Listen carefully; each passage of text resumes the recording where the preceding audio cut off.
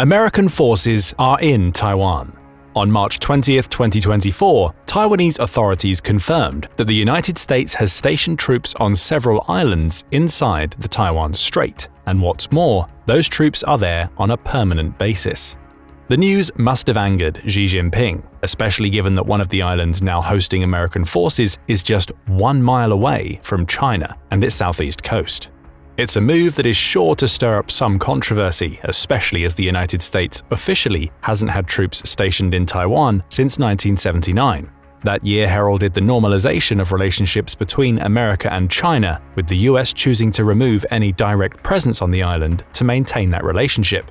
Instead, all coordination between Taiwan and the US over the last four decades has come via the American Institute in Taiwan, essentially the US embassy in the country, so the presence of troops now is a huge turnaround from the last four decades of policy, all of which leads us to a question. Why now?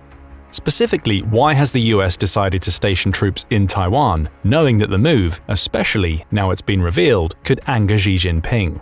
The first answer may come from Xi himself. Xi has made no secret of the fact that he believes that Taiwan should be part of a unified China. He makes historical claims, based on the Qing Empire's ownership of the island in the 17th century, to prove that point. Japan later claimed the island, following its defeat of the Qing Empire in 1895, only for China to briefly hold the reins again following World War II, when Japan was defeated. What followed was several decades of conflict between Taiwan and China, that conflict stemmed from the battle between Mao Zedong's Communist Party and General Chiang Kai-shek's Kuomintang, or Nationalist Party. When Mao defeated Chiang in China itself, the general fled to Taiwan, establishing his rule on the island, dubbing it the Republic of China.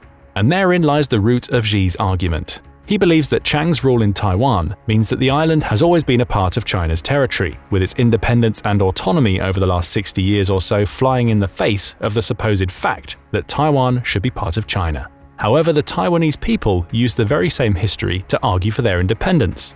To them, the island was never a part of the modern Chinese state, formed by the Chinese Communist Party in 1911, or part of the People's Republic of China that came into being under Mao Zedong in the 1940s. China's rule of the island demonstrated Taiwan's independence rather than its subservience. Today, if you ask Taiwanese people how they identify their nationality, around 62% will say Taiwanese, with 31% saying they're both Chinese and Taiwanese. The rest, a tiny percentage, claim to be Chinese alone as of 2023. To Xi, those statistics are irrelevant. He made that much clear in his annual New Year's address on January 1, 2024, during which he made a special point to claim that Taiwan would surely be reunified with China at some point in the near future. That speech was remarkable in its own right, not because of the message itself. China and Xi have long claimed that Taiwan should be part of China, but rather it was the tone that Xi used to make the claim that startled many. In the previous year's message, Xi had been much more conciliatory, calling Taiwan a part of the same family as China. The 2024 address seemed to carry a veiled threat, with some suggesting that it hinted at Xi's intention to use military force to take the island, perhaps even during this year. There had been plenty of hints towards this in the months leading up to the address, as well as in the months that followed. China has grown increasingly bold in running military drills in the Taiwan Strait, with many of those drills encroaching on Taiwanese territory. Take its aerial incursions during the early 2020s as an example. In 2020, China flew 380 planes over Taiwan's Air Defense Identification Zone, or ADIZ, a region under Taiwanese control that the country monitors as a means to prepare its air defenses. Each violation was essentially a warning to Taiwan, letting the island know that China isn't afraid to be on the country's radar, and they kept coming. With 2021 came 960 incursions, nearly triple those of the year prior, with fighter jet sorties increasing dramatically to 538. Xi became even bolder in 2022, sending an enormous 1,727 planes into the ADIZ, including several bombers and even the H-6, which is a nuclear-capable plane that could, in theory, drop a nuke on the island if needed. To Taiwan, these sorties are clear shows of aggression from a country that intends to overrun and take control of the small island nation. They're also far from the only examples of China testing the Taiwanese waters. November 2023 brought with it reports that nine Chinese aircraft had crossed the Davis Line, a hypothetical line drawn through the Taiwan Strait that essentially divides the body of water into Taiwanese and Chinese halves. That drill included several of China's J-10 and Su-30 fighter jets, as well as aircraft dedicated to electronic warfare. That was just one of many such drills in 2023. And in March 2024, Tsai Ming-yen, Taiwan's National Security Bureau director, made his opinions on the reasons for these drills clear. China is trying to get everybody else accustomed to the idea of it having an active military presence near Taiwan. They are trying to normalize their military activities, Tsai claimed, pointing out that many of the drills, which China calls combat readiness patrols, are timed to coincide with key diplomatic events, such as visits from foreign dignitaries. Even Xi's 2024 New Year's address came just two weeks before Taiwan held its elections.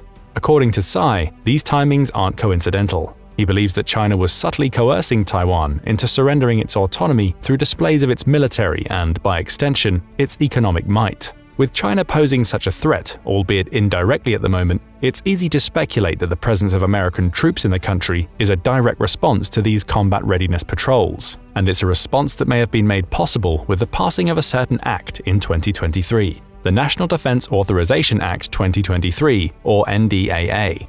The NDAA is passed annually, with each iteration essentially existing to dictate America's military approach for the year ahead. The 2023 version was notable for several reasons. First, it authorized $858 billion for national defense programs for 2024, with the House Armed Services Committee making a point that this amount was $45 billion more than President Joe Biden requested. The House's summary of the act even took a shot at Biden, claiming that this action would reverse the president's reckless cuts to our national security, but perhaps more pressingly, that same summary also claims that the act not only reaffirms the United States' support of defending Taiwan, but clears the way for the Indo-Pacific forces to conduct military exercises with the country, no matter what the Chinese say, as the summary puts it. It goes on to state that the 2023 NDAA will fully fund any military exercises the United States holds with its allies and partners in the Pacific, including Taiwan, in an effort to curb China's growing influence. All of that brings us back to what's happening in Taiwan at the moment. American troops are now stationed on and around the island, but how many and who specifically is there? The key thing to point out is that the United States hasn't started to amass thousands of troops in Taiwan. It's not building a fighting force in the country, and the volume of troops deployed so far will be able to do little in defense of Taiwan were China to launch an attack today. It's also worth pointing out that the United States hasn't officially confirmed the presence of its troops in Taiwan, Instead, the confirmation comes from Taiwan's defense chief, Chiu Kuo-cheng, who has this to say when he was asked to confirm reports that US Army Green Special Forces had been stationed permanently on the island. No matter the situation, there may be blind spots or shortcomings, so we need to communicate with our allies, whether it's as a team, a group, or a country. While that sounds somewhat vague, it's also not a denial of the reports. As such, it's safe for us to assume, and indeed the media to report, that US Army Green Special Forces, also known as the Green Berets, are stationed in Taiwan. That brings us to two more questions. Where are the Green Berets stationed, and what will they be able to do for Taiwan? Before answering those questions, it's worth exploring who the Green Berets are and what they traditionally do. According to Military OneSource, the Green Berets are military legends, as a special forces team that employs guerrilla warfare tactics to take on terrorists, often on the terrorists' turf. Their training takes 63 weeks to complete, divided into six stages, during which they learn new languages and take part in simulated missions at Pineland, Based in North Carolina, this facility mimics the terrain of a hostile foreign country, allowing the select few who make it through to hone their skills so they become extremely dangerous on the battlefield. While that all may seem hyperbolic, there's no denying that the Green Berets are often seen as the elite of America's special forces. They've also been used throughout history to provide special training to America's allies. We saw this during the Vietnam War, when the team was among the first American troops committed to the country, where they trained 58 members of the South Vietnamese Army to arrange a counterattack against the Viet Cong. By the time the United States withdrew from that war, the Green Berets were assisting over 80,000 soldiers in the fight, in short, and as the Green Beret Foundation puts it, the Green Berets are the best trained soldiers the US has and are typically deployed for the most complex missions. And they're now in Taiwan. While Taiwan's defense ministry hasn't commented on specific plans for the troops the US has sent over, Newsweek reports that a handful of Green Berets are stationed with the 101st Amphibious Reconnaissance Battalion, which is one of Taiwan's special operations groups on two islands, Penghu and Kinmen. Both are tactically important locations if a war breaks out between China and Taiwan. Standing almost directly in the middle of the Taiwan Strait, Penghu has been described as an island fortress by Forbes and is seen by many as one of Taiwan's most crucial lines of defense. Part of that cruciality lies in the island's positioning. To attack Taiwan, China would have two options. It could send an invasion fleet to the country's north, attempting to sail straight into the port that serves Taiwan's capital, Taipei, but doing so would be suicidal, at least for the first few waves of troops that attempt to invade, due to the extensive coastal defenses Taiwan has erected to guard Taipei. For that reason, the more likely route for China would be through the south of Taiwan. And to get there, China would have to either suppress or capture Penghu. That island is home to Taiwan's Sky Bow 3 surface-to-air missile system, which is capable of obliterating targets flying at altitudes of up to 27.9 miles, as well as the Hsiung Feng 2 anti-ship missiles. These cruise missiles would subject any Chinese garrison that attempted to bypass the island to an absolute battery, meaning taking Penghu would be crucial to China's plans. That would be no easy task. Penghu is home to a permanent garrison of 60,000 troops, who are equipped with artillery and around 70 M60 tanks. In the waters surrounding the tiny island, you'll often see a Taiwanese missile destroyer, a ship that exists almost solely to take out missiles fired by aircraft. So the island serves both offensive and defensive purposes. Its heavy fortifications mean that any attempted Chinese invasion would be long and arduous, with China likely to lose multiple soldiers to every one that Taiwan loses in its efforts to take the island. But China can't simply bypass Penghu. The island's anti-ship missiles put paid to that idea. As China attempted to take Penghu, it would face a battery of missiles focused on its ships, along with anti-air defenses designed to take out its aircraft. And the odds are that all of these capabilities would be supplemented by Taiwan's air force. Even if Penghu was eventually taken, the battle over the island would give Taiwan time to arrange defenses on the mainland, making China's invasion even more difficult. Then there's Kinmen. Also known as Quemoy, this small group of islands is governed by Taiwan but sits just 6.2 miles east of the Chinese coast and the city of Xiamen. Between the two locations lies Xiamen Bay, with any Chinese invasion attempt likely to include taking Kinmen. For Taiwan, that means Kinmen is the first line of defense, here, the defenses built into the island are intended to batter the invading Chinese forces as best as possible so they're weakened before they ever reach the Taiwanese mainland. Knowing this, Taiwan has stationed an array of defenses among the 12 islands that make up Kinmen, including its 119th, 127th, and 158th Garrison Brigades. Those troops are supported by the 101st Amphibious Battalion, with whom the Green Berets are stationed, and the 584th Armored Brigade. But beyond that, little is known of the militaristic capabilities of the islands. According to Le Monde Diplomatique, the islands differ from Penghu because they have a large civilian population of up to 60,000 people. It also notes that the last reliable data we have about the island, which comes from 2014, suggests that there are 3,200 troops stationed there, some argue that this means that Kinmen has lost some of its historical importance, at least in a military sense, especially as these numbers indicate that Taiwan has withdrawn forces from the islands over the last couple of decades.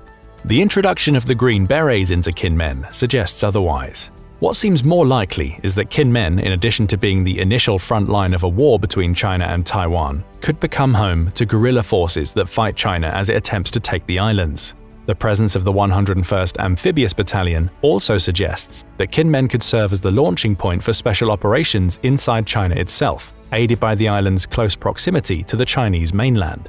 So it's clear that these two locations hold strategic importance for Taiwan. Which brings us back to the question, what are the Green Berets doing on Penghu and Kinmen? Officially, or at least from what we can glean from Taiwan's comments, the Green Berets are stationed on these islands in a training capacity. Chiu Kuo-cheng hinted at this when responding to reporters' questions about the presence of American troops. We can learn from each other to see what strengths we have, he said, before going on to state that the arrangement was a fixed thing. In other words, it appears that the US troops deployed to these islands are part of a fixed agreement between Taiwan and the United States. They may even be stationed there permanently. Newsweek speculates that the Green Berets sent to the islands are actually instructors who will focus on training and sharing information with the Taiwanese special forces already deployed on Penghu and Kinmen. It backs this speculation by reporting on United Daily News, or UDN, which is a Taiwanese news agency that has highlighted similar training operations taking place in the past. For instance, UDN claims that there is an American military presence on Taoyuan, a city on the Taiwanese mainland, that's also providing training to the country's troops. In that case, the training focuses on drone equipment, which Taiwan hopes to procure for its Airborne Special Service Company, another elite team that focuses on special missions. Perhaps the Green Berets are providing similar training on Penghu and Kinmen. At the very least, we can speculate that they're sharing American intelligence relating to China's activities while helping special forces on the island come up with a plan to cause damage to Beijing's operations should an invasion occur. They may also be the first of a larger group that may be deployed onto the islands in the future, bolstering Taiwan's defenses and seeing the United States present a more direct military threat to China. Still, this is all speculation. As this video is being produced, the head of the United States Indo-Pacific Command, Admiral John Aquilino, said that contrary to a recent news report, there are no American Special Forces personnel permanently stationed on Taiwan's outlying Kinmen Island. If they do admit it, they'll likely focus on the training aspect of the deployment by highlighting that the US and Taiwan are running their own equivalents to China's combat readiness drills. If China is going to have patrols in the Taiwan Strait, it stands to reason that Taiwan would run training drills to counter whatever military operations Beijing has in mind with these drills. But there's no official word, which brings us to another question. What does China think about all of this? Much like the United States, China is keeping quiet in that area. Newsweek even highlights that the Chinese Foreign Ministry has yet to respond to its written requests for comment, much like the US Army. Still, we can speculate, and it's likely that Xi's opinions on the reports mirror those he shared in the past. For instance, AP News reported on a warning that Xi issued in April 2023 over a situation that was somewhat similar to what we're seeing in Taiwan at the moment. Back then, he said through a spokesperson from the Chinese Taiwan Affairs Office that China will resolutely oppose the US having any form of official or military contact with China's Taiwan region. That statement came in response to reports that the US military was going to send officers into Taiwan to train their positional counterparts. It came on the back of other Taiwanese reports claiming that the US has also sent 200 troops, predominantly Marines, into the country to help train troops. Back then, Taiwan's defense ministry didn't confirm or deny the reports, similar to the responses it gave in the light of these most recent suggestions that Green Berets are operating in Taiwan. But China made its feelings very clear. It doesn't like the idea of American troops being in a territory that it believes is its own, and make no mistake, that ownership is the key concern. The April 2023 statement even makes reference to China's Taiwan region, suggesting that Xi sees American troops on Taiwanese soil as an incursion into China itself.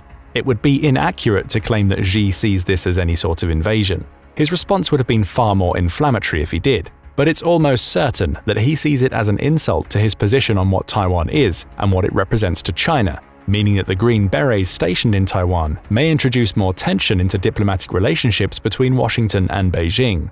All of this leaves us with a final question. What happens next? Any answers would be purely speculative. Officially, the United States has long had a strange relationship with Taiwan. It doesn't officially support Taiwanese independence, for instance, a fact made very clear by the Department of Defense in its fact sheet relating to America's relationship with Taiwan. However, it also serves as the region's largest arms provider and has held strong unofficial relations with Taiwan's government for decades. You could even argue that without America's weapons and unofficial support, Taiwan would likely have been annexed and assimilated by China fairly easily at some point over the last 20 years. As for China, the presence of even more American troops in Taiwan, especially on such tactically significant islands, is sure to cause anger. But it likely won't cause any change in Xi's approach to Taiwan. After all, a handful of Green Berets, as effective as they may be as a fighting force and a means of training Taiwan special forces, would be able to do little to prevent China from deploying its full military might, should it decide to invade. Furthermore, the unofficial nature of America's relationship with Taiwan makes it difficult to anticipate what the US would do if China did invade. Would it deploy troops directly? Or would it sit back and hope Taiwan can defend itself with the help of the weapons it's bought from America and the training it's currently receiving from US troops? Perhaps the answer to those questions lie in how much of a threat the US believes China would pose should it take control over Taiwan. Its response would be measured by that threat determination, with the likelihood being that the US would argue for the maintenance of the status quo while continuing to support Taiwan indirectly for as long as it's able to hold out. And it's with that that we turn things over to you.